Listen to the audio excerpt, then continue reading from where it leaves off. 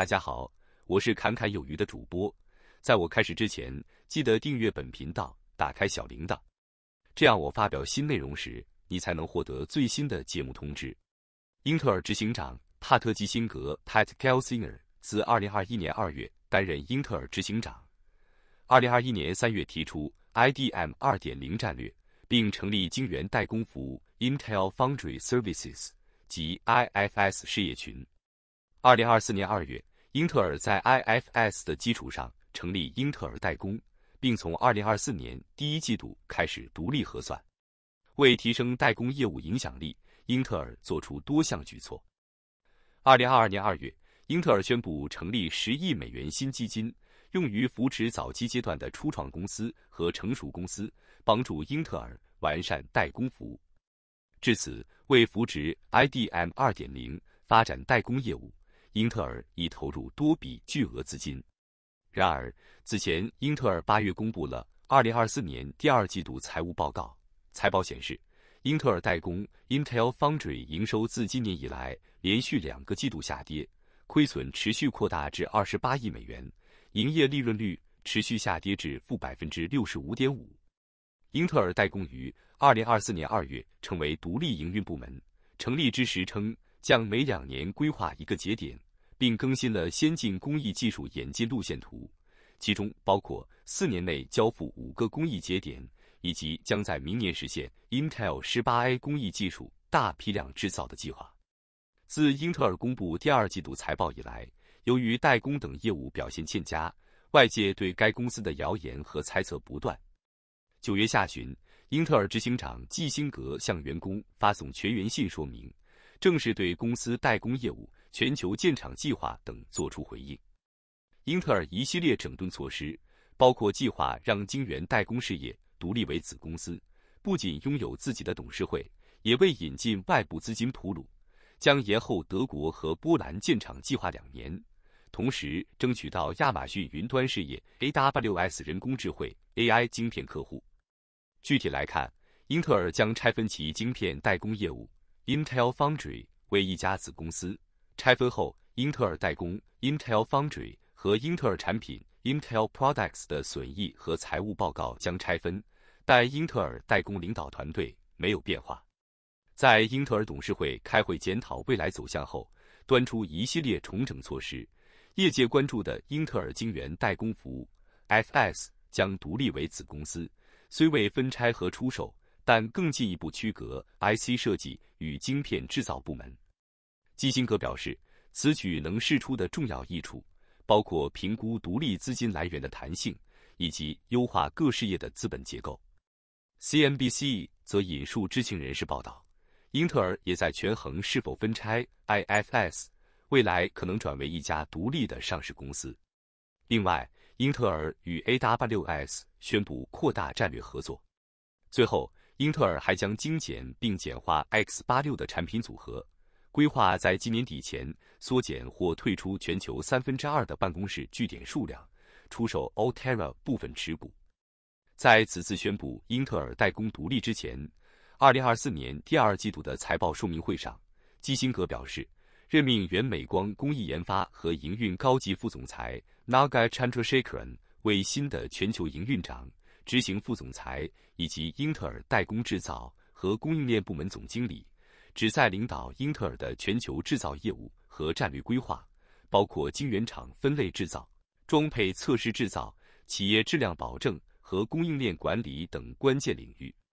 基辛格此次还提到其全球制造业扩张的范围和速度的最新调整，在欧洲，英特尔提高了爱尔兰晶圆厂的产能，并称。爱尔兰将成为英特尔在欧洲的主要枢纽，而根据预期的市场需求，英特尔在波兰和德国的专案将暂停大约两年。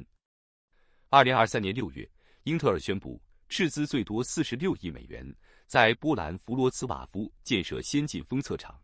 同月，英特尔宣布斥资三百三十亿美元，在德国马格德堡建设两家晶片工厂。在亚洲，基辛格称。马来西亚仍然是一个活跃的设计和制造中心，计划完成在马来西亚的先进封装工厂的建设。该工厂于二零二一年十二月宣布投资建设，投资超过七十亿美元，现已部分投产。基辛格称，其他地区的制造工厂建设计划没有变化。在美国，英特尔仍在推进在亚利桑那州、俄勒冈州、新墨西哥州和俄亥俄州的专案，其中亚利桑那州的两座工厂预计投资超过三百二十亿美元。俄亥俄州先进制程晶圆厂预计投资二百亿美元。此外，基辛格还宣布，英特尔在九月中旬早些时候，根据晶片和科学法案，收到来自美国政府的三十亿美元直接资金。今年三月，美国商务部宣布将向英特尔拨付八十五亿美元资助款项，并额外提供一百一十亿美元贷款支持。实际产品传出方面。英特尔宣布扩大与 AWS 亚马逊云端运算服务 Amazon Web Services 的战略合作。英特尔代工将在 Intel 18A 上为 AWS 生产 AI Fabric 晶片，还将在 Intel 3上生产为 AWS 克制化的 Xeon 6晶片。英特尔将与 AWS 就涵盖 Intel 18A、Intel 18AP 和 Intel 十四 A 的其他设计进行深入合作。AWS 执行长 Matt Garman 表示，AWS 和英特尔的合作可追溯至2006年，两家公司共同推出第一个采用英特尔晶片的 Amazon EC2 实例。双方的持续合作能够为共同客户提供运行现有工作负载需求和未来可能出现的新 AI 负载的能力。此次合作一方面证实了英特尔的代工制程证沿着四年五个制程节点的计划继续推进，另一方面也强化了美国本土的 AI 生态系统。在生态建设方面，英特尔代工也已获得包括 Synopsys、Cadence、Ansys、Siemens、ARM 等在内的 EDA IP 服务合作伙伴支持。今年二月，微软也曾宣布其即将推出的客制化晶片。将由英特尔代工，采用 Intel 18A 工艺进行制造。总体来看，英特尔执行长帕特基辛格发表全员信后，其重点介绍了英特尔正在着手进行的几项变革工作，其中包括与亚马逊云服务 AWS 的客制化晶片专案合作、独立后的晶圆代工业务 Intel Foundry 营运、获得美国晶片法案补贴后的建厂计划。出售旗下 FPGA 可编程晶片部门 Altera 部分股权的调整等，英特尔的晶片代工业务变化无疑是市场最关注的动向之一。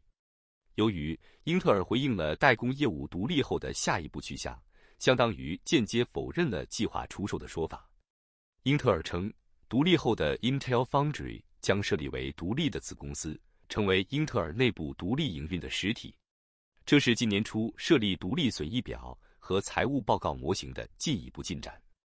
对英特尔这项重大决定，台湾半导体业内专家陆行之发文表示：“终于看到数年前预期分割的一大步，但感觉执行长还是想脚踏两条船，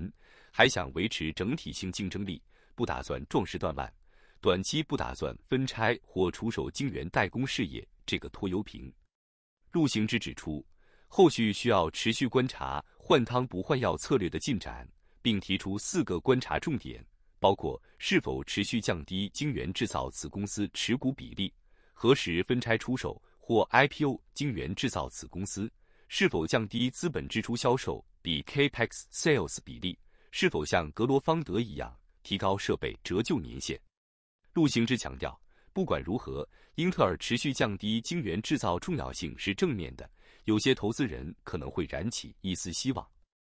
那么，本期影片到这里就结束了，感谢你的观看，期盼能与你产生共鸣。侃侃而谈，阔论有余。最后，请你点赞、订阅，这是对本频道最大的支持了，谢谢。